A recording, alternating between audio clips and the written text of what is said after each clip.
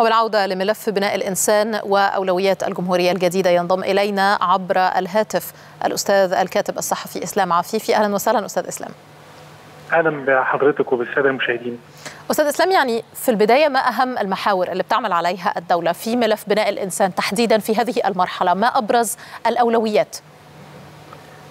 أعتقد أن الدولة كانت حريصة على أن هي اولا في مرحلة من المراحل كنا نسعى لتثبيت أركان الدولة استعادة مؤسسات الدولة استعادة الاستقرار والأمن لأنه بدون هذا الاستقرار وبدون هذا الأمن الدولة تكون في مهب الريح ولا يمكن الحديث عن أي مشروعات أو عن أي حالة عملية عمليات تنموية أو. استثمار أو كذا ده اولا ثانيا عندما تحدث الرئيس عن بناء الإنسان المصري كانت هناك اولويات أولويات مختلفة يعني أولويات متعددة لهذا ال لهذا ال لهذه الاستراتيجية.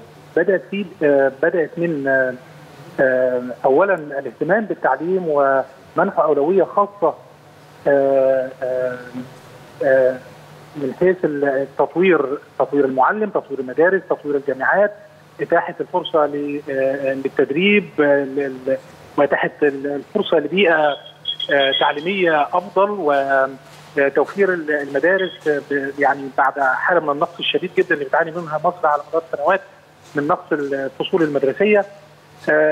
والميزانيات المخصصة حتى السيد الرئيس أعلن أنها في التعليم تحديدا في التعليم الجامعي ليست كافية ليست يعني كافية بما بما يتناسب مع طموح الدولة لتطوير التعليم والنهوض به باعتباره يعني القاطره التي من خلالها يمكن تحقيق تقدم تحقيق تطور تحقيق حالة من التحضر يعني التعليم هو حجر الأساس في بناء الإنسان بشكل عام.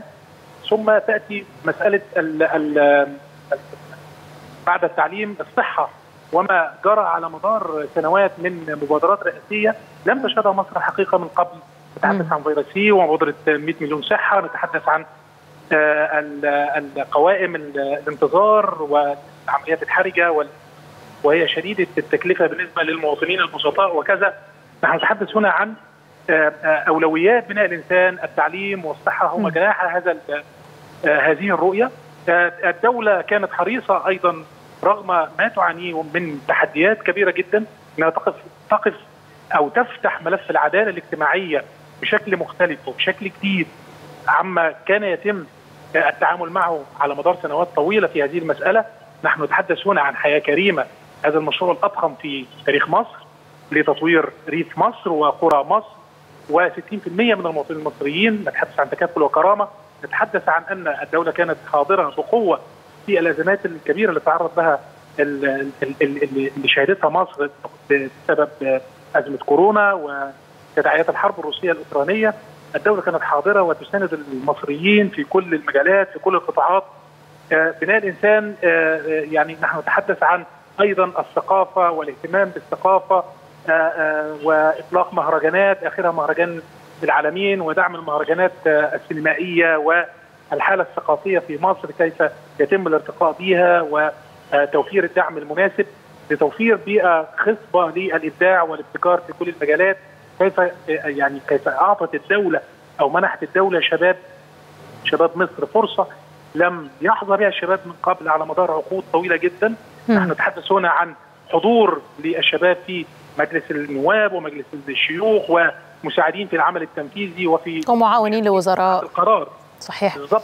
طيب أستاذ إسلام يعني بما أنه بدأت حديثك بالنقطة المتعلقة بالتعليم وطبعا هذه النقطة البارحة كان لها طبعا نصيب الأسد يعني حجم الإنفاق كيف تراه على البنية التحتية خاصة قطاع التعليم بالتزامن مع مكافحة الإرهاب خاصة يعني وأنه يعني تكلفة محاربة الإرهاب على مدار السنوات الأخيرة كانت باهظة للغاية.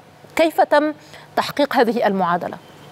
يعني لا أبالغ إذا قلت أن ما ما جرى على أرض مصر على مدار السنوات الماضية من محاربة ومكافحه للإرهاب بهذه القوة ودفعنا ثمنا غاليا جدا من دماء أبناء مصر وشهدائها أكثر من 3000 شهيد.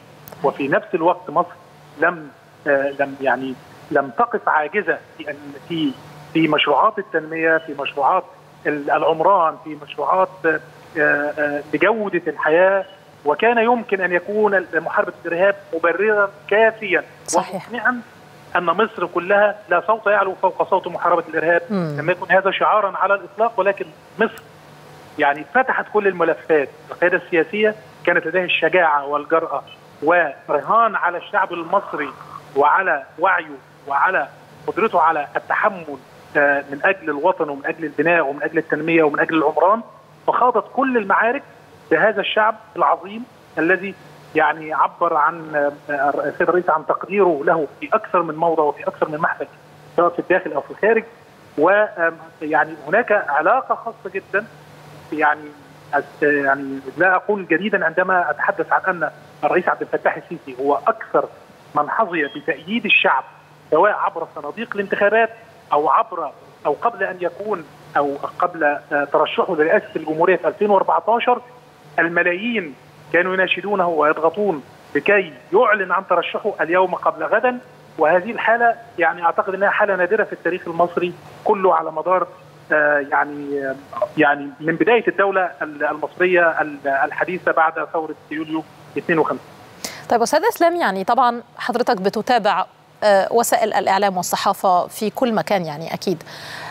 كيف تقرأ أصداء كل هذه الخطوات التي تمت. يعني تحدثنا في هذه المداخلة عن قطاع التعليم الصحة الحماية الاجتماعية. مبادرة حياة كريمة اللي تم تصنيفها مؤخرا كأفضل مبادرة تنموية في المنطقة. كيف بتتابع أصداء كل هذه الخطوات على المستوى العالمي؟ يعني خلينا نقول إن التجربة المصرية على مستويين مستوى العدالة الاجتماعية والسعي إلى تحقيق نوع من لأن العدالة الاجتماعية تؤدي بالتالي إلى حالة من الاستقرار في المجتمع وحالة من الأمان أيضا وحالة من الثقة ما بين مؤسسات الدولة وقيادتها السياسيه وما بين المواطنين. وأيضا نحن نتحدث عن إني يعني ما جرى ما جرى يبعث على أيضا على ان الدولة المصرية رغم كل التحديات رغم كل الصعوبات قادرة على إنها تتجاوز كل كل هذه التحديات وتصبح في يعني زمن مضى يعني. تجربه تجربة ملهمة لمصر في العدالة الاجتماعية وفي حياة كريمة تحديدا بشكل أساسي ثم تجربة ملهمة في مكافحة ومجابهه الإرهاب. صح. وكان موقف مصر صارما حاسما موقفا واحدا دون مراوغة ودون مهادنة مهما كلف الدولة وهذه ليست يعني هي قناعة قناعة القيادة السياسية أيضا هي قناعة الشعب المصري صحيح. وهذا هو رأي الشعب المصري الذي خرج في 30 يونيو ينزع عن نفسه غبار جماعة إرهابية حاولت أن تختطف الوطن من أهله وحاولت أن تفرق وتشتت وتفكك نسيج المجتمع الواحد الذي يعني مثل غز نسيج منذ آلاف منذ آلاف السنين ولاول مرة نسمع عن تفكيك مصر و و واقتطاع أراضي من مصر لحساب آخرين والتنازل عنها ويعني كانت بمثابه جرائم وطنية لا يمكن كان يسكت عنها الشعب المصري. فالتجربة المصرية في محاربة الإرهاب على مستوى المواجهة على الأرض أيضا المواجهة الفكرية والمواجهة على مستوى الإبداع والثقافة وغيره نحن صحيح لم لا تنتهي الحرب أو المعركة مع التطرف والأفكار المتطرفة والمتشددة. فهي دائما لابد أن نكون على وعي بأنهم لا يكلون ولا يملون أن أن يحاولوا اختراق المجتمع بأشكال شتى لكن نحن جميعا على قلب رجل واحد وخلف قياده سياسيه وطنيه نثق في نثق فيها جيدا ونثق في امكانياتها وقدراتها وقيادتها لهذا البلد. شكرا جزيلا الكاتب الصحفي إسلام عفيفي على هذه المداخلة وعلى كل هذه المعلومات.